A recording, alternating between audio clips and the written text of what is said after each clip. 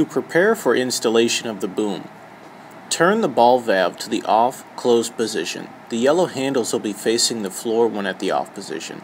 Disconnect both valves using the quick disconnect couplings. To disconnect the hose, pull down on the bottom of the locking ring and pull the hoses upward. Attach the rubber caps connected to the end of the hose to minimize oil spillage. Next, pull the red lock bar outward away from the mast. As a safety precaution, you will not be able to remove the lock bar with the hoses connected. Remove the retainer pin located on the bottom front of the mast.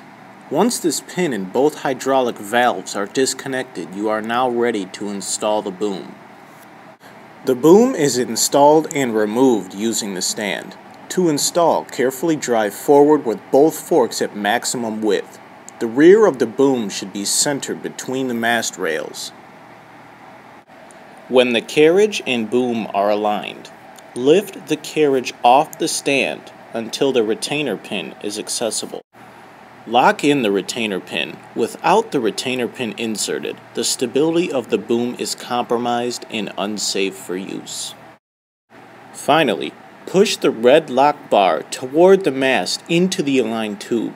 Then connect the boom hoses, identified by the color IDs, to the corresponding colored valve and open the valves. The boom has two lifting stages. The first stage can be lifted using hydraulic cylinders. To use the second stage, the following steps must be taken. First, remove the boom crowbar from the hoister on the carriage located on the right side of the truck. Next, lift the mast to a height that will enable the boom crowbar to fit into the locking slot on the left side of the boom. To lock the boom crowbar, twist a half turn until the boom crowbar is secure. To protect the floor, place a 4x4 block of wood directly underneath the boom crowbar. Lower the mast. As you lower, the inner section of the boom will begin to rise. Lower the mast until the locking holes and the inner and outer stage of the boom are aligned. Insert the upper boom locking pin to lock the inner and outer sections together. Lift the mast and disconnect the boom crowbar. At this point, the boom is ready to be used at its full height.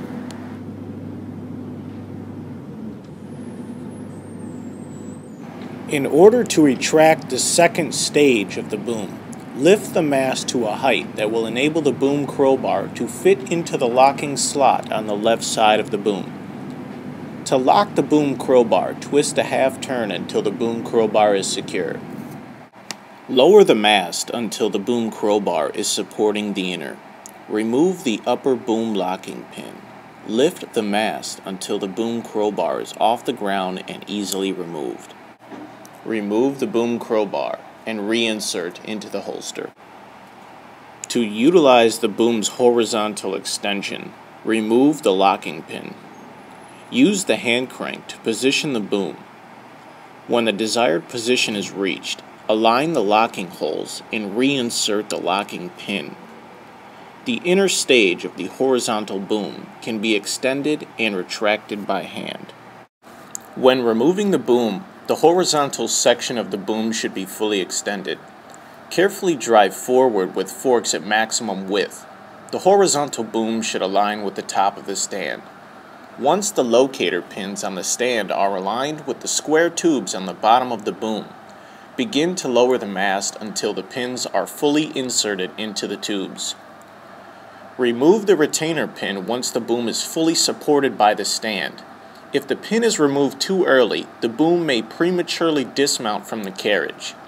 Next, disconnect the hydraulic valves from the boom and turn the ball valves off. Pull the red lock bar outward away from the mast.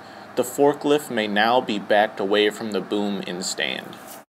To utilize the forklift after boom removal, reconnect the hydraulic valves through the quick connect couplings to the corresponding colors and turn on the ball valves.